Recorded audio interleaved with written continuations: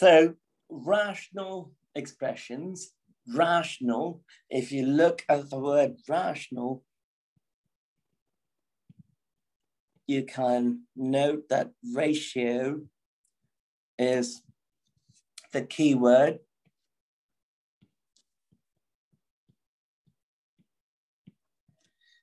And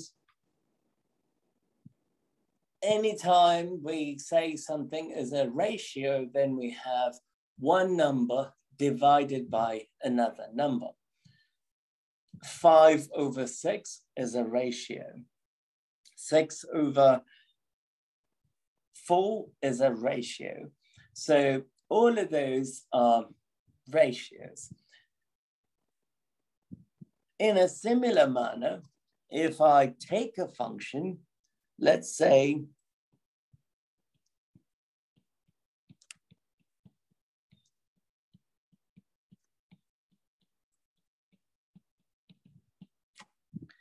if I change the numbers and write them as x plus 2 over x minus 1, 3 over x plus 1, x squared plus 2 over 3x plus 1. They're all rational expressions. So you divide one function by another function. You can also divide it by a number. There is nothing wrong with that.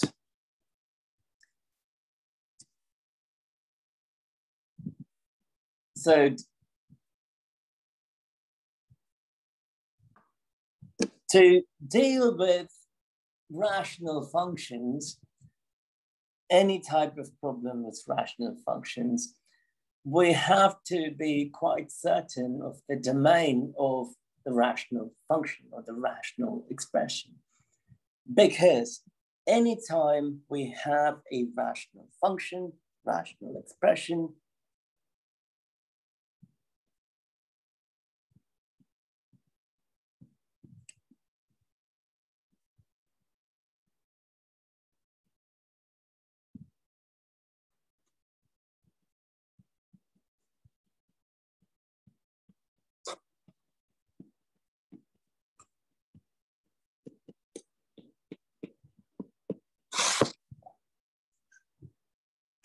Rational functions are likely to have points that need to be excluded from the domain.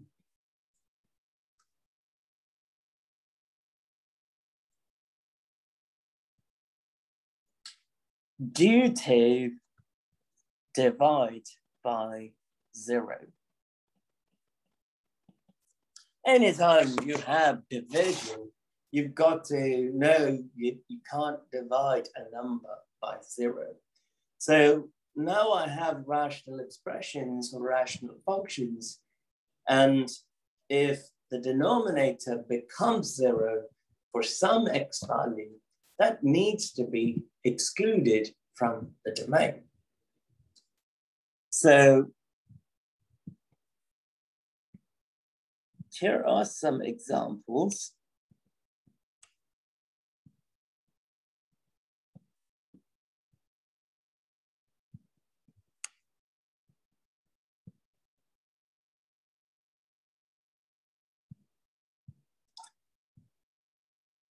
3x squared plus 2 over 9.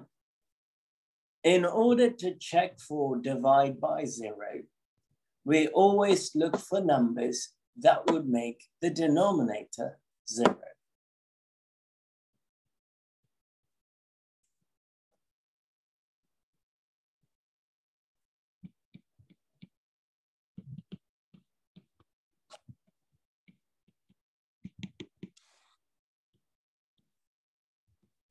Could the nine in the denominator make it zero? No, because nine could never equal zero.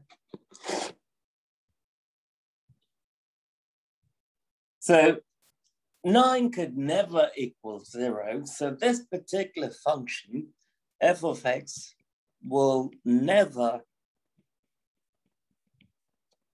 have a divide by zero problem or issue. Issue would be a better way to say it. So no x value is going to cause an issue. So we go back and look at the numerator. I can plug in any value in 3x squared plus 2. If you graph the numerator, it will just be a nice little curve. It's a um, U-shaped parabola, and you will not have any problems for any value of x. I can plug in any x in 3x squared plus 2 and get a number back. So the domain here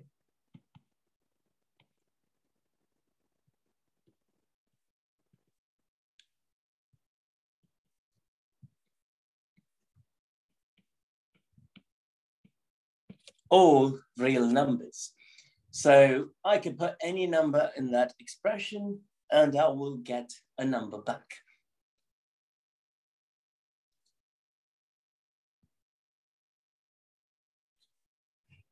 Let's consider f of x is equal to x plus 1 over x minus 2. x plus 1 not going to cause a problem. I could put any number in x plus 1 and I'm going to get a real number back. But if I plug in 2 in the denominator,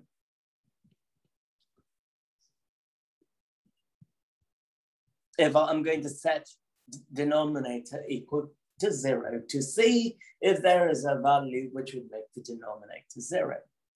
If I set x minus 2 equal to 0, that would mean x is equal to 2. If I take that 2 and plug it in the expression, I would get f of 2 to be equal to 2 plus 1 over 2 minus 2, which is 3 over 0. And that is divide by zero. And that is an issue we cannot have.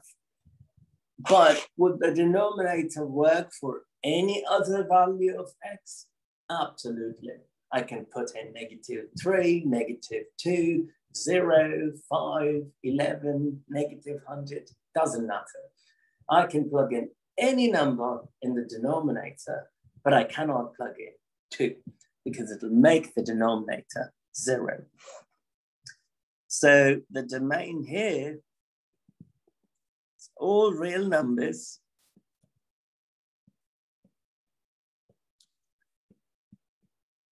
except x is equal to 2.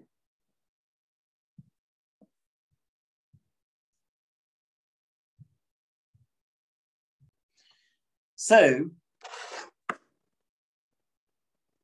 we look at the numerator and I could put any number in the numerator and I'm not going to have an issue because it's just x squared plus x. I look at the denominator, if I plug in zero,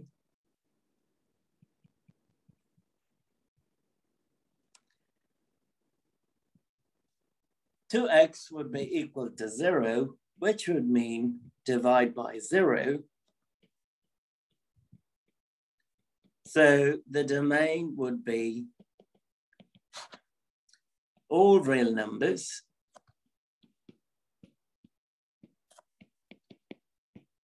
except x is equal to zero. That's what we would think. But no. Anytime you have a rational function or a rational expression, first thing that you should ask yourself is, could I factor? Once I factor the numerator and the denominator, is there something that I can get rid of? Is there a factor that is in common between the numerator and the denominator? So f of x is equal to x squared plus x over 2x. I have an x in common in the numerator. If I pull that out, I would have x. Since I pulled x from x squared, I'll have x.